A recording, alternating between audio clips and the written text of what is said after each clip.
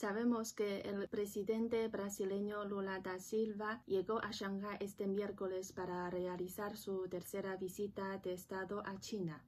Su delegación incluye muchos empresarios, ministros y congresistas para firmar más de 20 acuerdos bilaterales con China en agricultura, ganadería, turismo, entre otros. La visita muestra la importancia que da el gobierno de Lula a China. Creo que la particularidad de China para Brasil radica en su especial importancia a nivel bilateral y multilateral. A nivel bilateral, China y Brasil han establecido una asociación estratégica integral. China ha sido el mayor socio comercial para Brasil en más de 10 años y China es de importancia para la economía brasileña y la cooperación entre los dos países en ciencia y tecnología, atención médica, protección del medio ambiente y otros campos continúa avanzándose. A nivel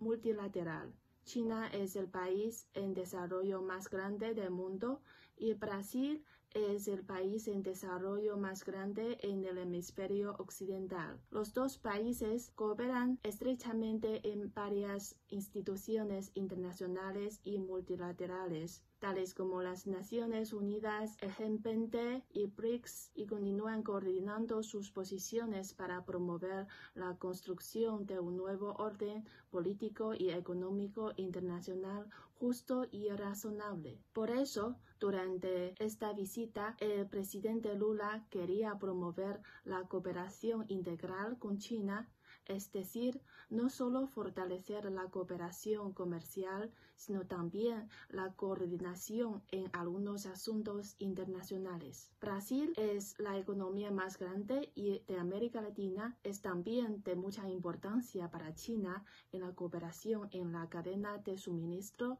y la cadena industrial. En particular, la exportación brasileña de soja y hierro a China son imprescindibles para que China garantice la seguridad alimentaria y promueva el desarrollo industrial. Al mismo tiempo, como el gobierno de Lula da mucha importancia a la transformación energética y protección ambiental, los dos países pueden fortalecer cooperaciones en las áreas mencionadas para realizar conjuntamente el desarrollo sostenible.